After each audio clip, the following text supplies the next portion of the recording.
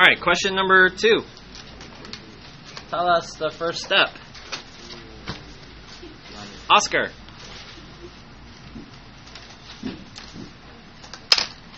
Make sure that the leading coefficient is 1. Is this a one? Yes. Okay, what's the next step after that?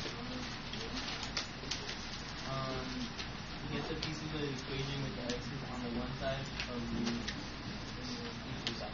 Okay, this is on one side, right? All the x's. So what do you have to do with that one? You add it to the Oscar, what's left?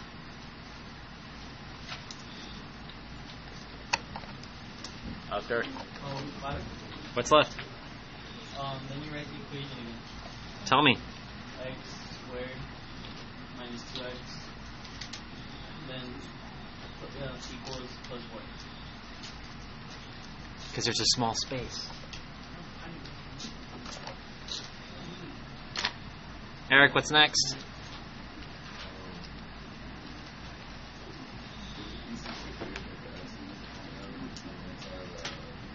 Okay, we just did that. What's the next one right after that?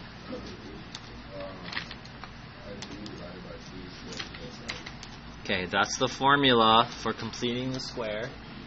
So you're going to have to do b over 2 squared.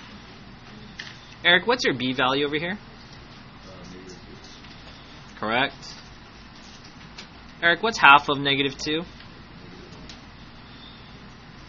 Make sure you put that in parentheses. And Oscar, negative 1 squared.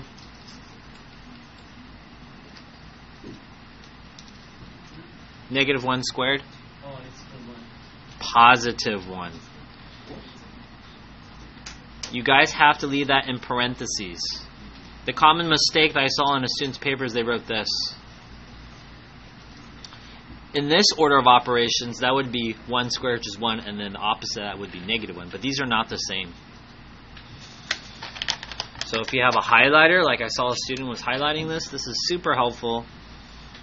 We need to add 1 to both sides.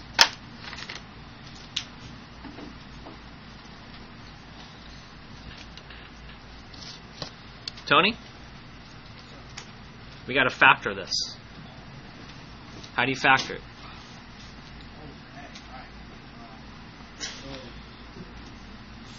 Oh, it'll be one on top, right? Yes?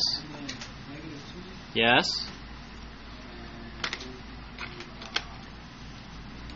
No, he can do it. He can do it. He's got to be the defense. Two numbers that multiply to be 1, but add to be negative 2. I'll give you a hint. These are going to be the same numbers.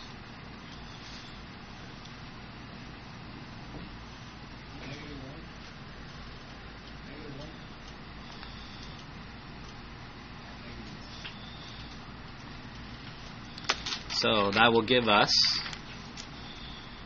x minus 1 and x minus 1. And then 4 plus 1, and Tony, is? 4 plus 1 is? 5.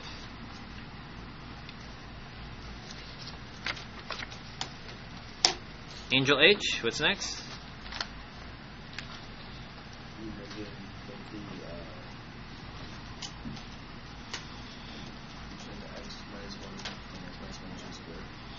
Yeah, these are called binomials. Bi means two terms, so binomial and a binomial, so binomial squared.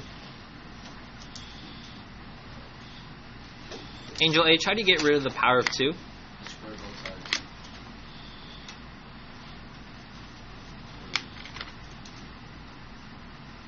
And can you tell us uh, what we should write next?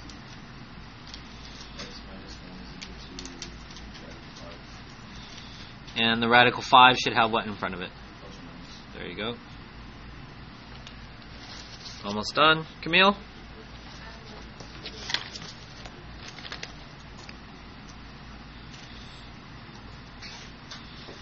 x equals 1 plus or minus radical 5. Let's put that into our calculators.